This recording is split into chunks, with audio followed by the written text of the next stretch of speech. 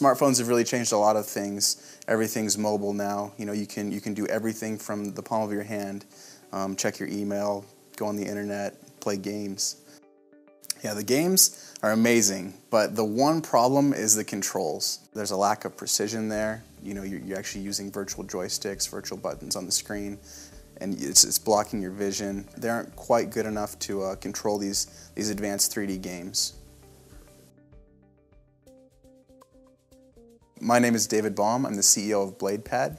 BladePad is both a protective case for your iPhone and a full console video game controller which connects over Bluetooth. We really just wanted to make a very mobile device that had the full capabilities of a console controller. Something where if you, if you put it in a gamer's hands, it would instantly feel familiar.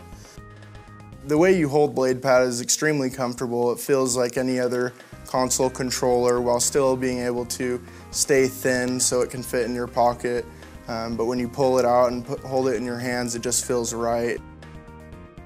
Mobility is the, one of the, the key features that makes smartphones so attractive.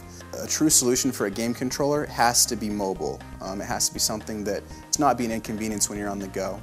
You put your iPhone in the case, and then the gamepad just slides out underneath the case. When you don't want the case, you, know, you slide it back in, you can actually detach it from the case and just toss it in your bag, leave it at home, and get rid of that unnecessary bulk.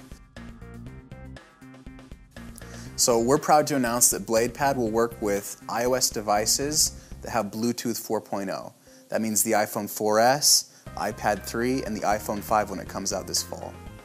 Well, BladePad would appeal to the hardcore gamer because they're going to be able to play the games that they're wanting to play and not have to bring around a separate device.